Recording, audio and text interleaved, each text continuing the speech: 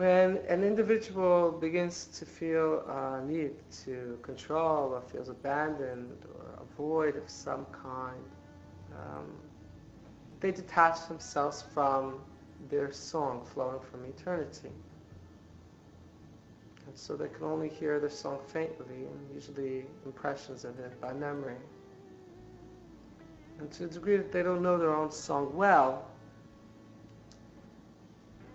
other intelligences or other people can help throw them off their song very quickly. It's like a person who is singing a song, whistling a tune, and someone comes right next to them, starts whistling another tune. And if they don't know the tune real well, then they easily get sent off key.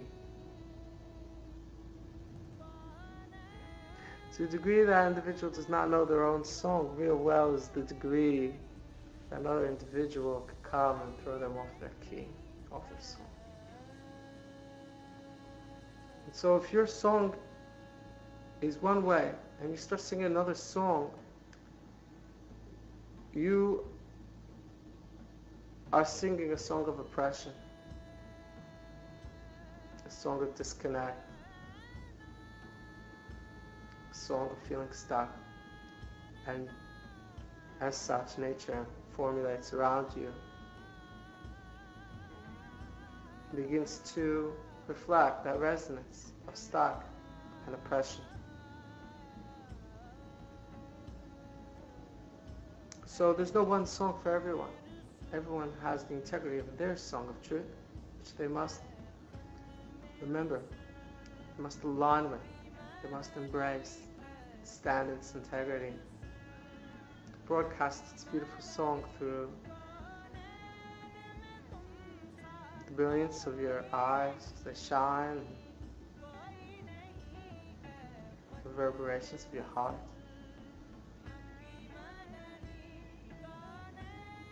A person that knows their song real well can recognize quickly when something else is knocking them off their song. And they can begin to isolate what is causing them to get away from the frequency of their song very early in the process before it manifests into discord, conflict, struggle. Very early they can sense something's off and it's throwing my key off tune. And therefore, when I manifest out of the frequency I'm broadcasting to nature, the frequency I'm giving off is not bountiful. It's a frequency of oppression, and as such, I will attract like measure for measure. So they can quickly bring it into alignment. Some recognize that these frequencies that are of a different key, not native to their own, some of them from the people they're living around. Sometimes the music that's playing inside and throwing them off all the time is a song of a, a parent that they haven't come to peace with. And so they hear this song all the time playing in their head. It throws them off their music. It's not their song.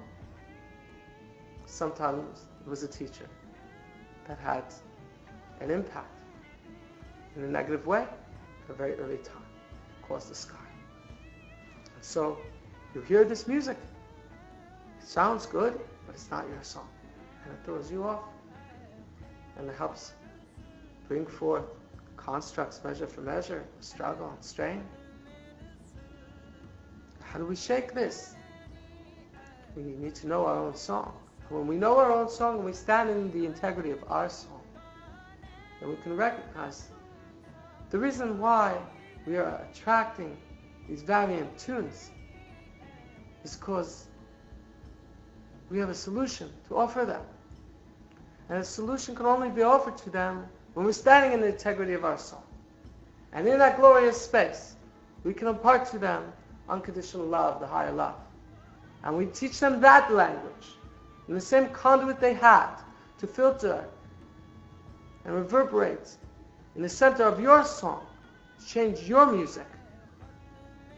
It's a two-way conduit. And it's interdimensionally, if you impart to them the sacred chords of the higher love, For all is well from the eye of all. All are loved, all are sacred, all are chosen. To that degree, we realign, we remove the reverberations of the past, the tit for tat,